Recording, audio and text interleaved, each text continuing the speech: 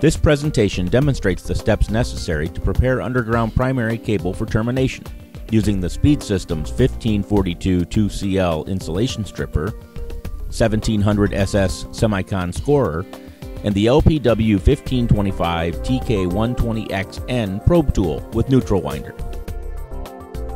Measure and mark the strip back length of the outer jacket. Follow the instructions provided by the termination supplier to determine the proper strip back length.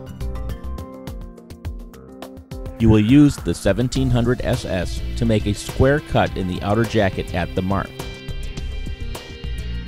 Make sure the blade is in the square cut position. Open the jaws by turning the knob counterclockwise until the tool can be positioned on the cable. Next, set the blade depth so the blade does not touch any of the neutrals. Place the tool onto the cable at your mark and turn the knob clockwise until the springs take over and the knob turns freely.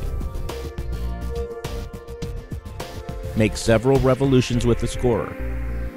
Loosen the jaws and remove the tool from the cable. Make a small cut on each side of one of the neutral wires at the end of the cable.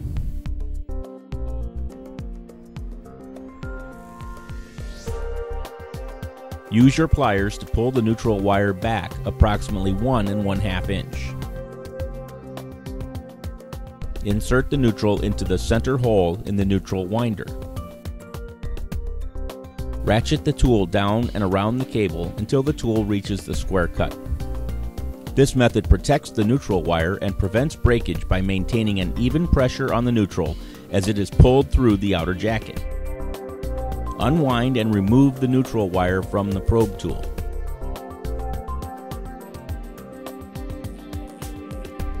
Remove the outer jacket and pull the remaining neutrals out of the way of the installation.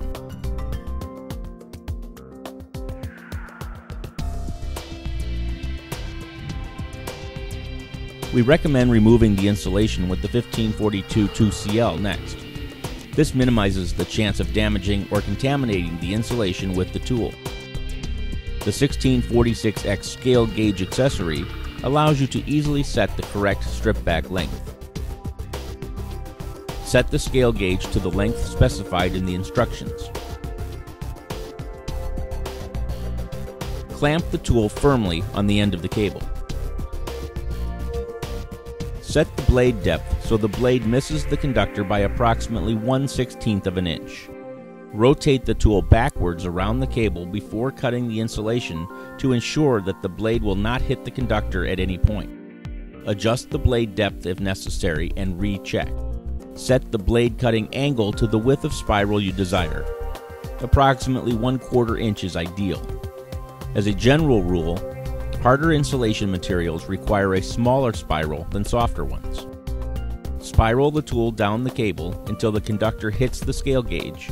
The tool automatically squares off the cut when using the scale gauge accessory. When not using the accessory, or when stripping a larger conductor size, you need to move the blade lever to the square cut position to square off the cut. Open the jaws to remove the tool and cut insulation from the cable. Once the insulation is removed, the next step is to remove the semicon layer with the 1700 SS semicon score. Measure and mark the semicon strip back according to the manufacturer's instructions. Set the semicon scorer blade depth to cut through most of the semicon layer without cutting completely through to the insulation. Verify that the blade lever is in the square cut position and check the blade depth on a scrap piece of cable if one is available or by visually checking the blade at the end of the cable. The blade depth should be set to approximately 3 to 5 thousandths less than the semicon thickness. Place the 1700 SS on the cable at the point you marked and release the tension on the jaws. Make sure the cable is as straight as possible.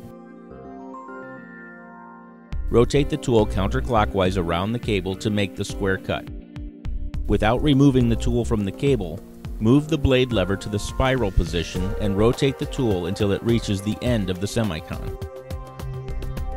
Watch the blade come through the end of the semicon and stop rotating the tool once the blade is fully through the semicon, but before the tool slides off the cable and the blade drops onto the conductor.